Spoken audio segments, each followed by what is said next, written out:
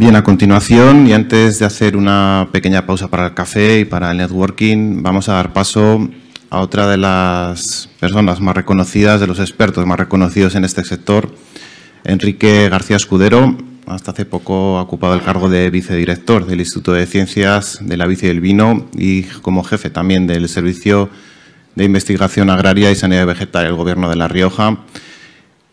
Enrique nos va a hablar hoy sobre la sostenibilidad en la producción en, el viñedo, en la viticultura y también en la disponibilidad de agua, un recurso sin duda muy valioso y preciado en estos días. Enrique, queremos agradecerle desde la organización eh, la amabilidad por, por estar aquí hoy con nosotros y adelante, tiene la palabra. Muchas gracias.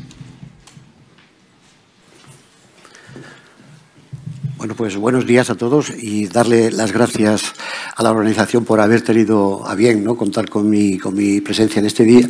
Y bueno, además me presento como un jubilado reciente, ¿eh? por eso le comentaba antes a Alejandro que ya, bueno, pues, pero en fin, espero seguir ligado al mundo de, la investigación y sobre todo de la, de la divulgación.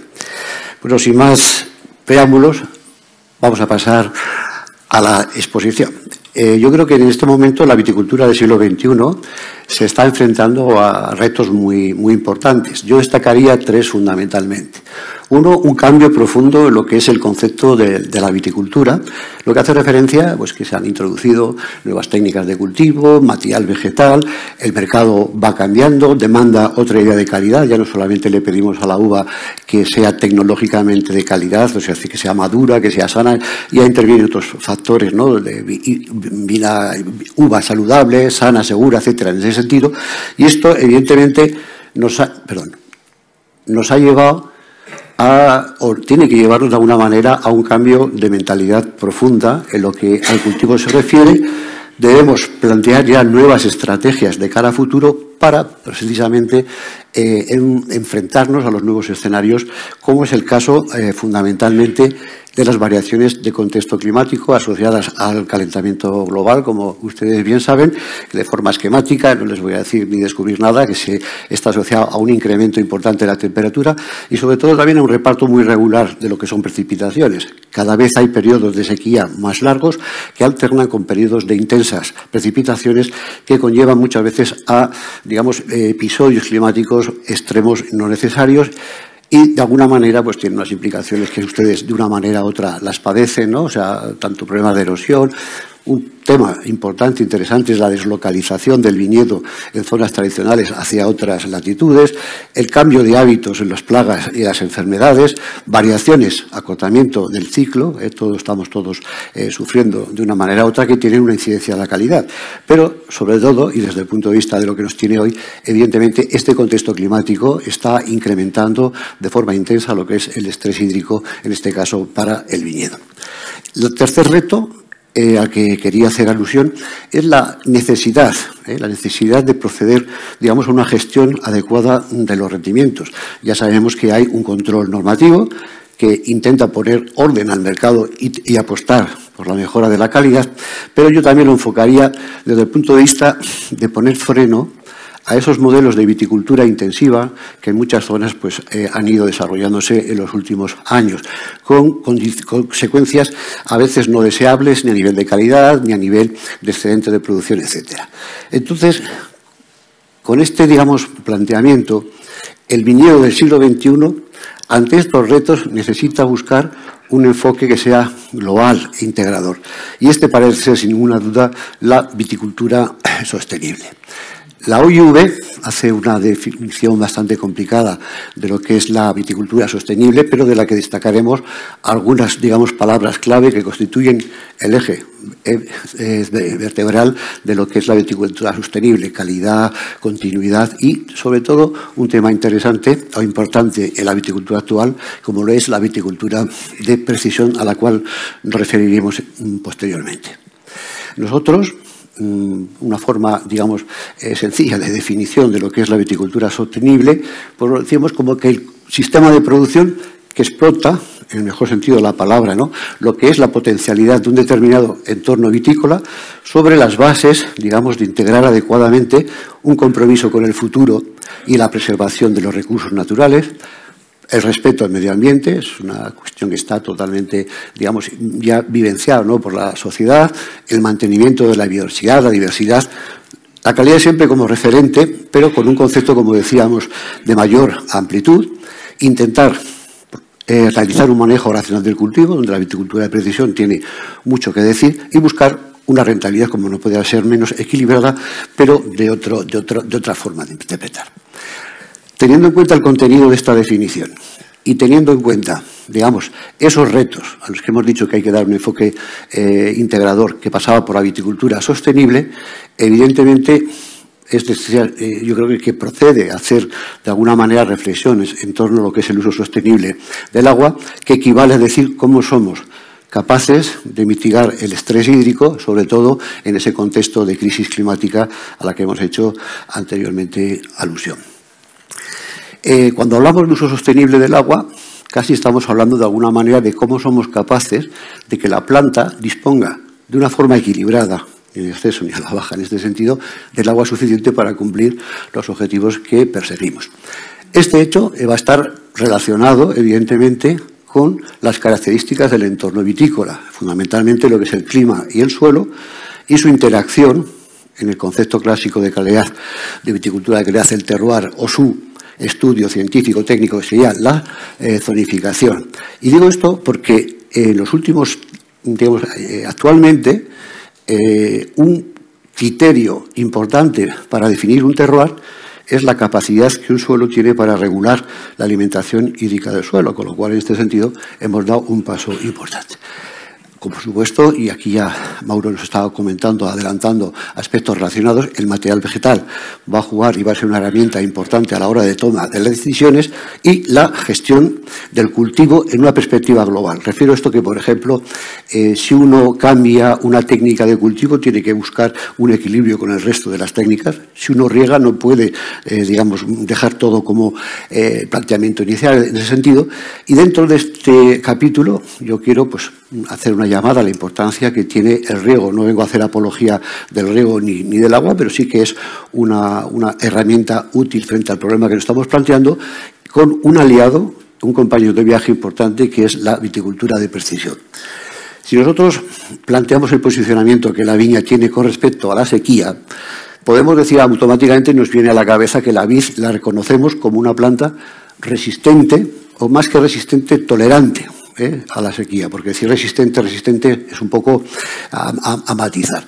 Y en principio, esta característica está asociada a que es una planta con necesidades moderadas de, agua. Y cuando digo moderadas es que son pero tiene necesidades. Es que en la viticultura tradicional hemos entendido muchas veces o nos han hecho ver que sequía y calidad van de la mano, y eso no es cierto. Mientras el estrés es moderado, esta afirmación puede ser cierta, pero cuando el estrés es intenso, evidentemente eh, puede caer, ¿no? desde el punto de vista productivo y cualitativo, la producción que hagamos. Para que nos ubiquemos, solamente algunas cifras sobre lo que pueden ser las necesidades hídricas, pues algunos autores nos hablan desde la necesidad de 500 litros de agua por metro por kilo de materia seca. En función de la época del vigor, pues hay una gradación de necesidades en litros por día. En ese sentido, hay mucha bibliografía al respecto, sobre todo, digamos, eh, adecuada a un contexto mm, determinado. A la derecha, una aportación del doctor Isarrague, en la que hablamos de la distribución estacional que tiene las necesidades de agua para la viña.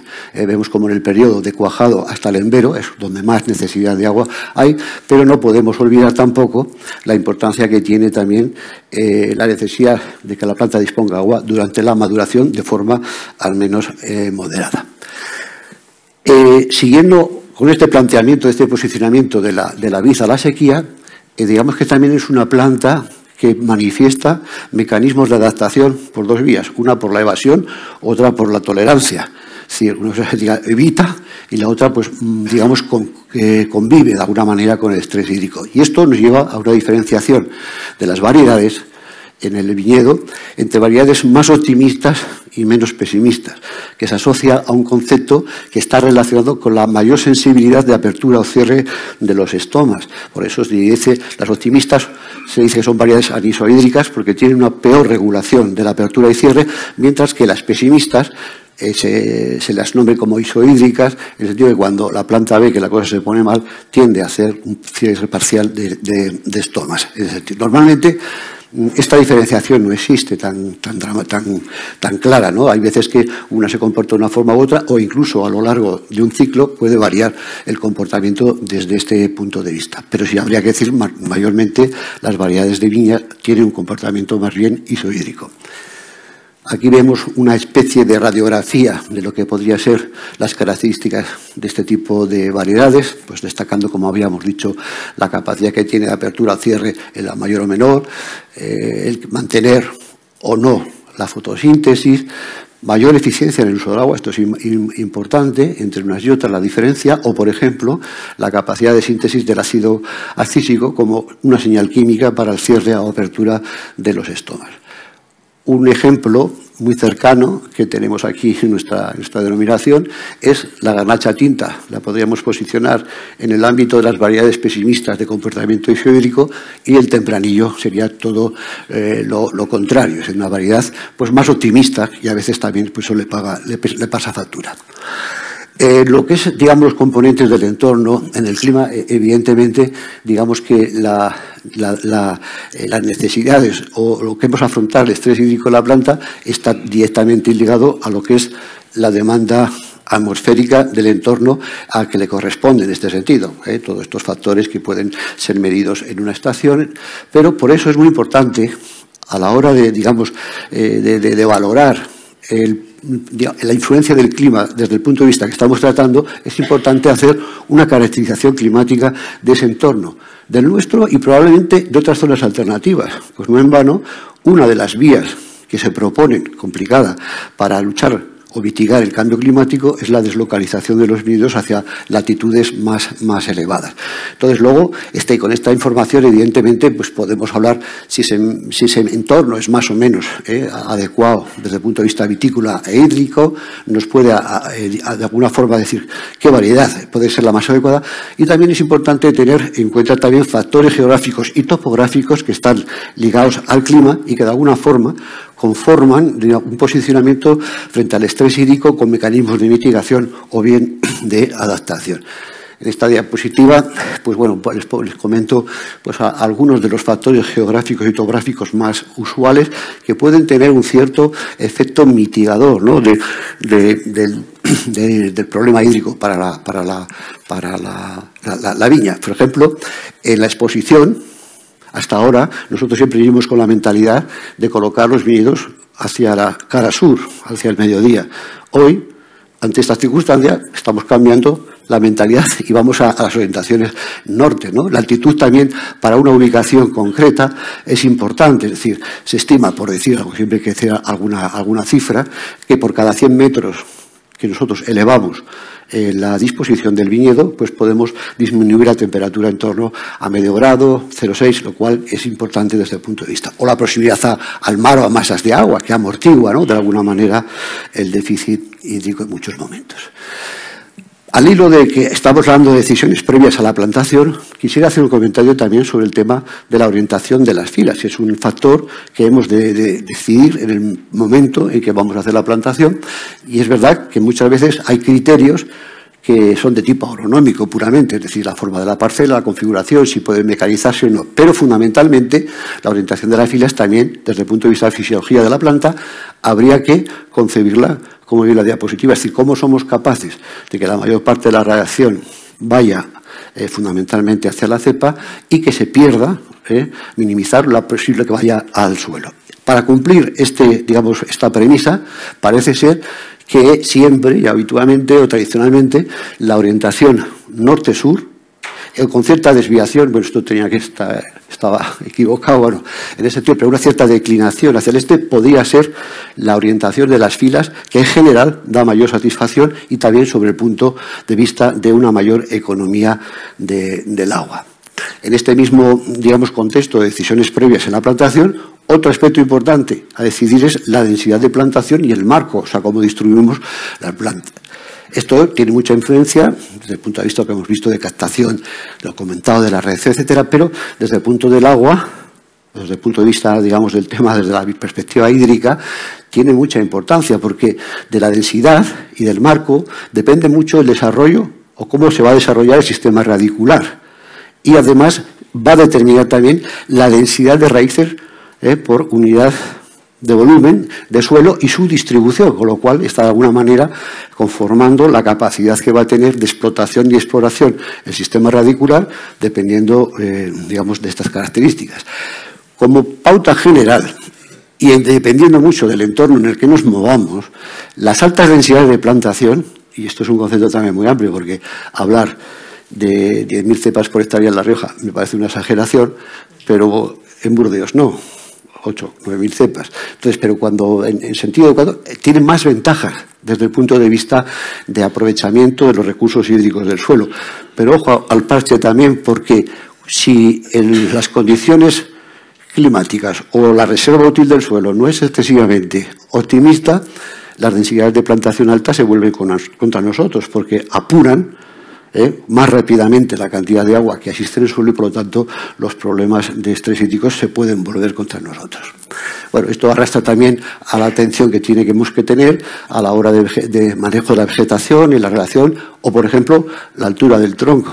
Es decir, eh, si nosotros comparamos eh, una, una, viña conducida o en vaso o en espaldera, pero con el cordón más alto y el, el, tronco más alto o más bajo, esos podemos estar también poniendo unos límites a satisfacer adecuadamente los requerimientos hídricos de la, de la planta.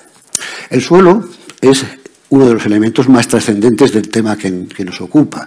La disponibilidad del agua está marcada fundamentalmente muchas veces por el suelo y sobre todo por su capacidad de retener y almacenar, es decir, lo que se conocería como reserva útil del suelo. Esta reserva útil del suelo va a depender fundamentalmente de propiedades físicas que todos conocemos y entendemos, como es la textura, es la, la estructura, la presencia mayor o menor de elementos gruesos, la evolución de la materia orgánica y por lo tanto también la actividad biológica del suelo para constituir el complejo arcillo único.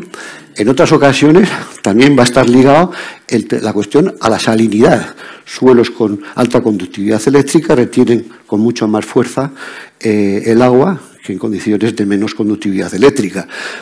Viñedos que se riegan con aguas procedentes de salinización excesivamente muy buena pueden contribuir también a este problema.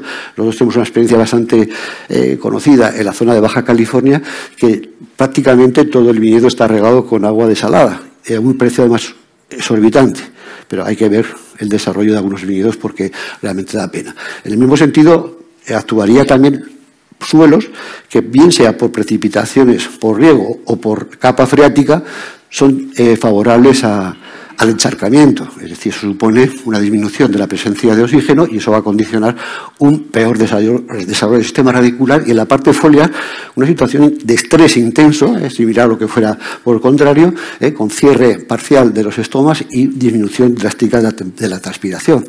Otro aspecto importante referido al suelo es la pendiente. Viñedos que están cultivados en pendiente tienen más riesgo de erosión, más riesgo de pérdida de agua por escorrentía. Y otro factor que entiendo que tiene mucha importancia es la profundidad del suelo, que marca de forma muy determinante la, reserva útil del suelo.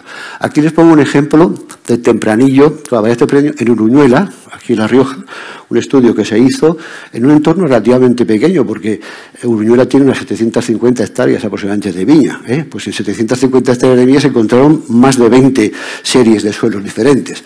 Aquí colocamos dos suelos como ejemplo en el que el suelo que llamamos uno con respecto al dos tiene mayor capacidad de acumulación de agua y se debe fundamentalmente a aspectos como el porcentaje de gravas, o la profundidad, vean la diferencia que hay entre uno y otro, el porcentaje de arcilla y eso va a determinar su capacidad de retención de agua disponible. No me voy a detener en ese cuadro, pero en esos dos viñedos, comparando uno con el otro, veríamos cómo la mayor disponibilidad de agua en uno con otro condiciona lo que son componentes del rendimiento, lo que son componentes del vigor y parámetros definitorios de la calidad de los mostos y de los vinos. ¿eh? Si los pusiéramos, yo no entro a valorar si esto es mejor o peor, sino simplemente el hecho de que esta, esta, esta, esta condición de la profundidad nos va a variar y depende del momento, de la situación que nos encontremos, pues tendrás una lectura u otra. También con respecto al suelo eh, se puede hacer alguna consideración del mantenimiento del suelo. Ya saben que habitualmente en España, pues bueno, eh, el sistema de mantenimiento más tradicional ha sido y sigue siendo el laboreo, ha sido muy bien visto tradicionalmente por los viticultores, alternando con los herbicidas, sobre todo la aplicación de mantenimiento en la calle, y aunque sea una técnica que está cada vez más en tela de juicio desde el punto de vista de impacto ambiental, evidentemente hay en ocasiones que, cumple su, servicio. Tradicionalmente, yo esto tengo dudas, pero, pero tradicionalmente admitimos que en situación de sequía o de escasas precipitaciones, a través de la ruptura de la capilaridad del agua en el suelo, pues limita la evaporación. Y luego está lo que es la, digamos, la, la alternativa ¿no? de cara a futuro, por todos los puntos de vista, sostenible, sumidera, están las cubiertas eh, vegetales, que tienen una cantidad de eh, ventajas muy a favor de este punto de vista. Pero preocupa, evidentemente, la competencia que pueda producirse en un momento o en el tiempo entre la planta y la cubierta, lo cual necesita de un manejo importante o adecuado de especies, de temporalidad, de intensidad de la cubierta a lo largo de la vida de la plantación o hasta que levantemos la, esa cubierta. Perdón. En un trabajo que desarrollado por Sergio Ibáñez, lo tenemos aquí hoy eh, con nosotros, eh, comparando el laboreo como testigo de referencia con respecto a, cubiertas semilladas o cubiertas espontáneas, eh, se puede ver cómo en la evolución del potencial hídrico diario a la derecha o la evolución estacional a la izquierda en las cubiertas vegetales, siempre, siempre, digamos, que en este caso el laboreo eh, ha tenido un mejor comportamiento desde el punto de vista de estatus hídrico, lo que habla en este caso de que se ha producido una competencia entre la, eh, entre la cubierta y la, y la, y la vid, y la planta. En el mismo sentido, otro estudio del grupo nuestro de Vitigestión, eh, dirigido por la doctora Alicia Pou, pues están eh, estudiando ya mantenimiento no en la calle, sino lo que es en la fila, con diferentes alternativas, unas con eh, sustratos orgánicos, otras con intercepas, otras con herbicidas, etcétera. Pero vean cómo, por ejemplo, la utilización de paja ha cumplido especialmente digamos, las perspectivas de mejora del estatus hídrico de la planta y de mantenimiento, a su vez, de la humedad del agua en el suelo. En, el entorno de la planta, bueno, yo ya lo después de Mauro ya no puedo hablar mucho en ese sentido, pero cuando nosotros, desde el punto de vista hídrico, tenemos que tomar una decisión ¿eh? a la hora de elegir el material vegetal que va a ir en nuestra, nuestra plantación, pues bueno, mm, solemos tener en cuenta características pues como las que aparecen, la morfología, la expresión vegetativa, es decir, el rendimiento, el vigor, etcétera, su adaptación a nuevos escenarios, al medio, etcétera. Entonces, pero normalmente voy a volver otra vez que desde el punto de vista hídrico, la variedad o el cloning, en este sentido también, que nos puede eh, inducir a tomar una buena decisión es contemplar aspectos que ya lo hemos comentado al principio, ¿no? sobre su carácter más optimista o pesimista. Vean aquí, por ejemplo, en un estudio de las variedades tintas eh, tradicionales en Rioja con Cabernet Sauvignon como referencia, con medidas de potencial hídrico al amanecer y a las 10 horas solares, como el garnacha tinta la variedad de que todas ellas mantiene o, o digamos, muestra un carácter más isohídrico que el resto y veis cómo al final, digamos, del periodo, pues tiene un estatus hídrico mucho más eh, favorable, mucho más optimista. O sea, optimista porque ha sido pesimista, es mucho más, más favorable en este sentido. Con respecto al porta injerto, yo me alegro de escuchar a Mauro el que haya esa inquietud ¿eh? por parte de su empresa y de otras entidades de mejora de los portainjertos. España es una, un, peso que llevamos encima de más de 100 años en los que prácticamente no ha evolucionado. O sea, hay una, la famosa lista, no sé, el 20 o 22, y de ahí no hemos salido. Hemos incorporado alguno, el Fercalta, pero ha, habido muy poco movimiento en ese sentido, con lo cual me alegro infinito de que haya esas inquietudes y que vayan, digamos, a, buen término. Lo único que decir es, claro, que desde el punto de vista un poco más terrenal, eh, la tolerancia o la resistencia a la sequía en los portainjertos ha tenido también mucho que ver con la correlación de vigor.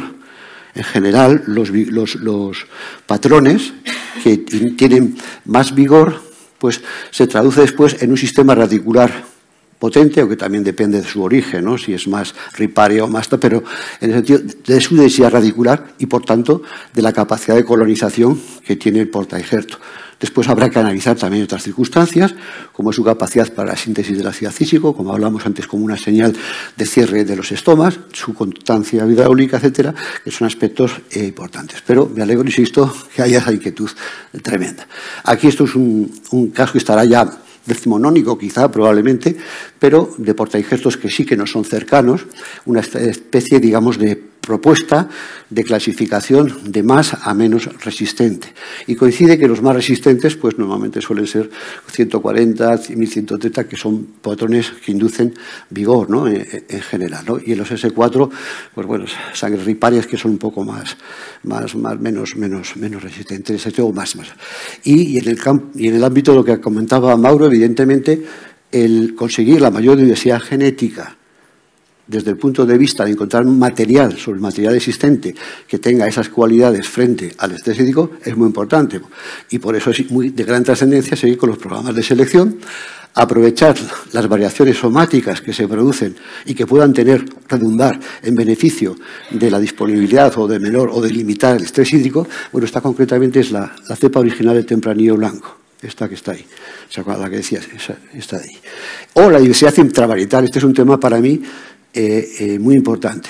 Nosotros disponemos de un banco de germoplasma en la grajera, bueno, disponen de más de 1.800 entradas en ese sentido y bueno, está haciendo un trabajo muy interesante también desde el punto de vista de buscar clones eh, dentro de, esta población que tengan una mayor eficiencia en el uso del agua y para poder, amén de otras condiciones de adaptación al cambio climático. O si no, como ha comentado Mauro, nos vamos hacia otra vía de trabajo para mejorar la densidad genética, que son búsqueda de nuevos materiales en base ya a la mejora genética, en base a la vía sexual, para adaptarse a esos nuevos eh, escenarios. Y ya para finalizar, quería hacer un comentario sobre lo que es el manejo del cultivo y el agua. Ya hemos dicho desde el principio que la definición de viticultura sostenible que daba la OIV daba una gran importancia a la viticultura de precisión. La verdad que es una herramienta para la toma de decisiones de una gran importancia de cara al manejo del cultivo. En esencia, digamos que es un sistema de gestión del viñedo en el que se es consciente de que no todo nuestro viñedo, a la escala que sea, es igual. ¿Eh? Ni en producción ni en calidad. Normalmente suele estar asociado a temas relacionados con el suelo, esas diferencias. Pone en juego herramientas más o menos sofisticadas, voy a decir sofisticadas más recientes, porque también viticultura de, precisión es cuando uno toma 200 vallas y ve el estado de maduración de, de un viñedo, pero bueno, en ese sentido genera una serie de datos que los procesa y eso después lo va a ayudar a establecer zonas homogéneas en un viñedo, a la escala que sea, y me va a permitir teóricamente un manejo diferenciado de cada uno de ellos y como no podía ser menos, en el caso del riego, la viticultura de precisión va a jugar un papel importante. Entonces, en este, en este, en este, en este sentido, la verdad que hoy pues, se dispone de cantidad de indicadores o de herramientas que son capaces de definir de, una de modo u otro lo que es el, el déficit hídrico en un entorno determinado, en una situación tanto a nivel de planta como a nivel de parcela.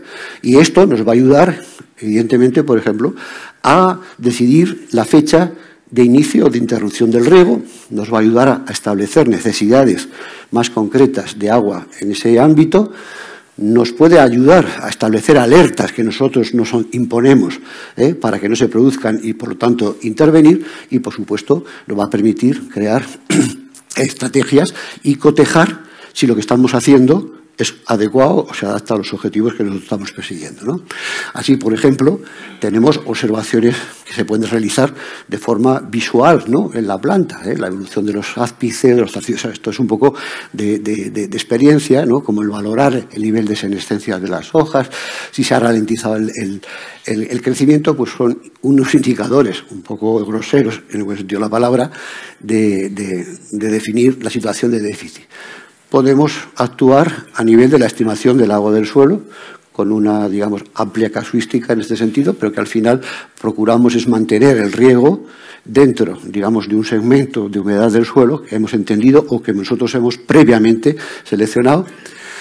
Se puede, digamos, crear una cartografía de viñedo en de zonas homogéneas en función de la conductividad eléctrica del suelo, mediante unos sensores específicos montados en un quad, en este caso, con un GPS, etcétera, y que es, digamos, medida en continuo de esa capacidad, de esa conductividad eléctrica y está muy relacionada con propiedades del suelo que a su vez están muy ligadas a la presencia de agua en el suelo. Esto es muy tradicional, esto está a la mano de todos, evidentemente, que es eh, estimar a través de indicadores climáticos las necesidades de agua en la planta. ¿no? En este sentido, bueno, pues aquí tenemos una estación, concretamente del Servicio de Información Agrometeorológica de la, de la Rioja, en la que las necesidades pues, se hace un pequeño balance, se aplican unos coeficientes, teóricamente, que hay que determinarlos, pero es, es bastante fácil. Sin embargo, ya las medidas fisiológicas que, que se utilizan con cierta frecuencia es más complejo o más difícil de acceso. Uno de lo que sí se puede acceder con facilidad es a la determinación del potencial hídrico de, la, hoja a distintos momentos del día, esto ya es un poco el sentido, mediante la utilización de una cámara de presión.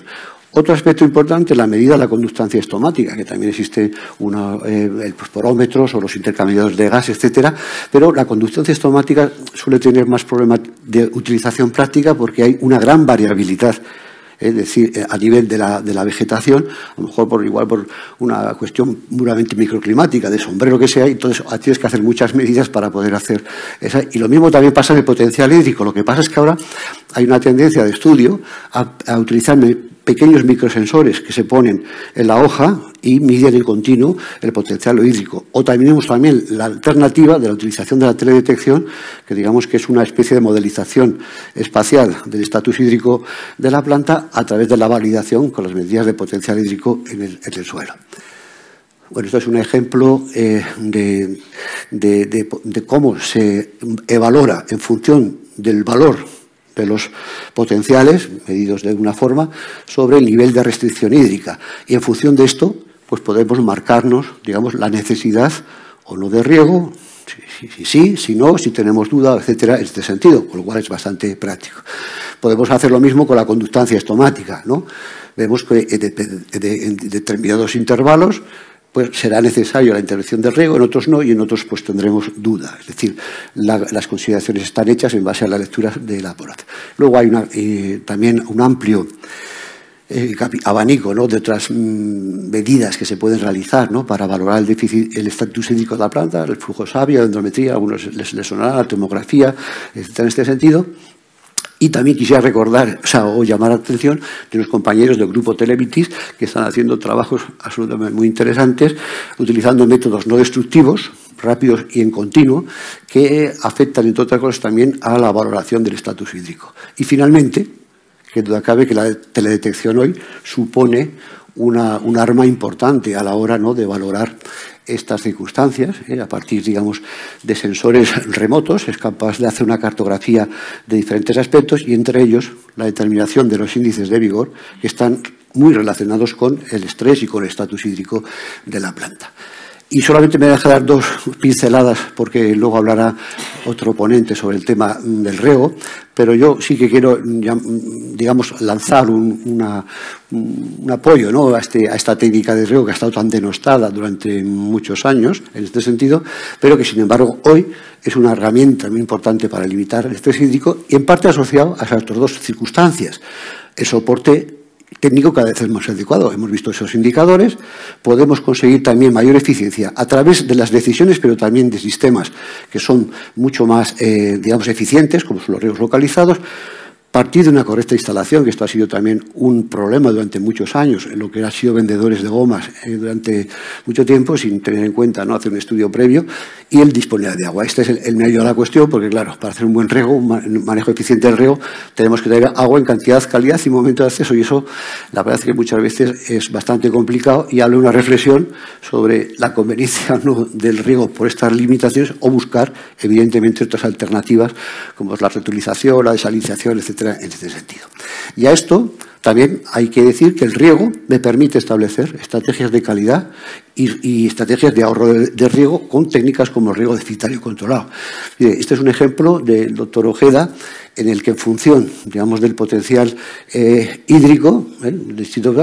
Va viendo, digamos, cómo manejar el riego. Si yo no quiero nada más que kilos, no quiero nada más que rendimiento, pues bueno, no, digamos, daré lugar a que haya ningún problema de restricción hídrica a lo largo de todo el ciclo. ¿eh? Es decir, prácticamente le doy todo el agua que quiera, pero esto me conduce a, a, viñedos tanto de rendimiento, pero de, de, zumo, de uno concentrado, de vino de mesa. Es decir, que el objetivo es rendimiento y tienes que pagar un peaje en términos de calidad.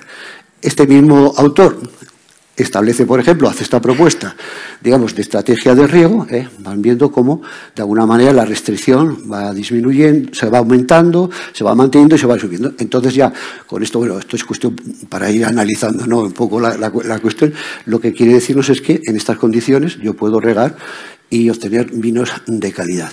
Y finalmente, y ya con esto termino, perdón, eh, yo creo que es una buena herramienta para ajustar la maduración tecnológica y polifenólica, que ha sido uno de los problemas a los que hemos aludido, ustedes conocen, que tenemos en los últimos años, como consecuencia de esta crisis eh, climática. ¿Y por qué?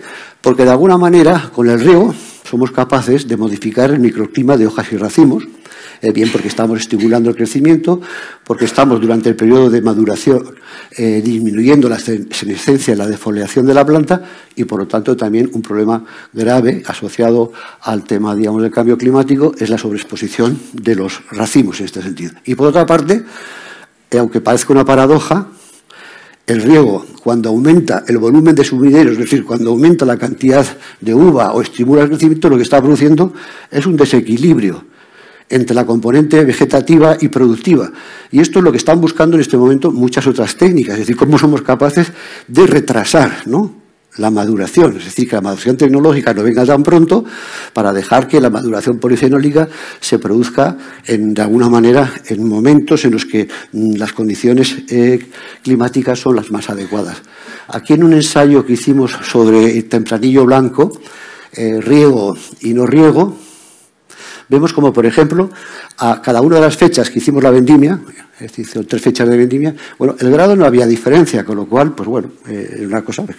Pero lo que me importa que vean es que a ninguna fecha de las consideradas la diferencia de acidez total era siempre favorable a las parcelas que habían sido regadas. Pero no solamente eso, fíjense si comparamos la, eh, la acidez total del testigo en la primera fecha Dos semanas después es similar en el riego, con lo cual el riego nos ha permitido tener un margen, digamos, de aptitud en este sentido.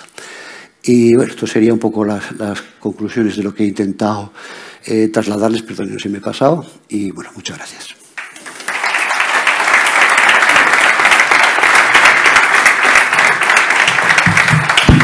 Muchas gracias, Enrique, por la presentación y no sé si tenemos todavía un poquito de tiempo antes de la pausa, si alguien quiere plantear alguna, alguna pregunta en la sala. No se anima nadie. He visto a mucha gente durmiéndose, no creo que... bueno, yo quería plantearle... Sí, al caballero, por favor. Espere, espere, por favor, para que nos puedan oír eh, eh, por online, le pasan ahora mismo el micrófono.